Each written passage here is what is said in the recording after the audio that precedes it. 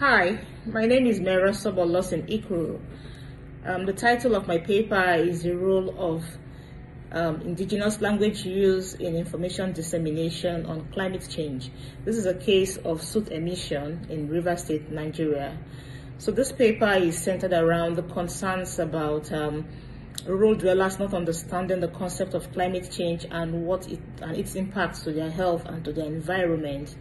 So um, to give a background, so recently in River State, um, there has been the case of illegal crude refining. The Nigerian government has declared this illegal. Unfortunately, it's not been controlled. And this is actually done in the rural communities very close to where people live. And it has resulted in the emission of soot in the, in the air, in the environment. People inhale this soot.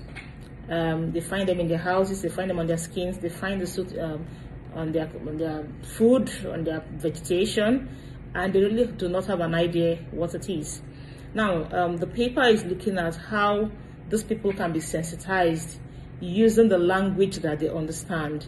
And um, the paper is advocating for the use of indigenous language use because in a study conducted by AWE, um, two um, groups, of Yoruba speaking groups, were talked to about climate change. One group was spoken to in English, the other one was spoken to in Yoruba.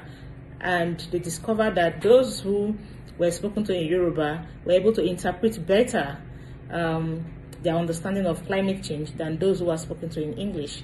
So this paper um, uses um, and um, in structured interviews and um, interactions with people in three communities in River State, and then um, data was um, data were gathered from about 40 people in these communities um, ranging from 18 to 60 years.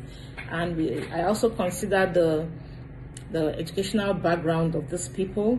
Some of them were secondary school leavers and if a handful of them were university graduates. And um, the we used the um, interview method.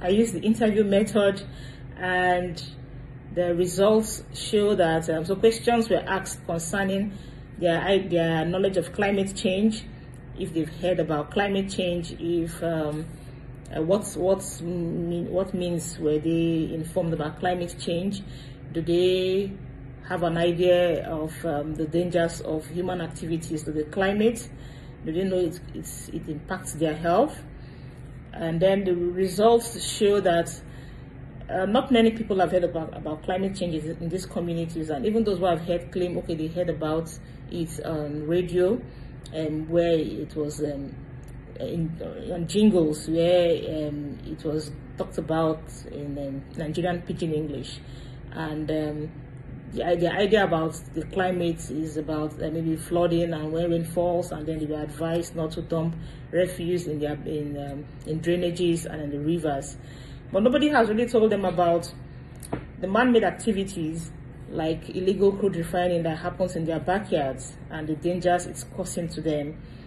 And they really, and then they, they don't even understand if it's causing any dangers to them because a question was asked like, um, are people coughing often in your communities?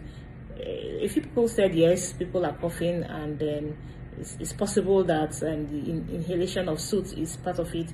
Um, some other people said they, they don't think so because people have been coughing even before the illegal refining, and then another group said um, they have no idea. So um, I I discovered that these people do not understand what the dangers of these activities are, and so um, the paper it's recommending that um, government agencies, uh, people, people in people in in authority try to um, sensitize the people about climate change, telling them how it could be caused by natural causes and by human activities, and how they can control it to live a better life, especially with the situation of soot emission. And this should be spoken to in the indigenous language of the community, the immediate community where these people reside, so that they understand better um, what this this situation is. And lastly, the paper is also recommending that people in authority work with um, language specialists so that we could create words, uh, terms that will fit climate, that will fit into the climate change concept. And then they say these things in their languages so that the people understand better. So that's all about my paper. Thank you for listening.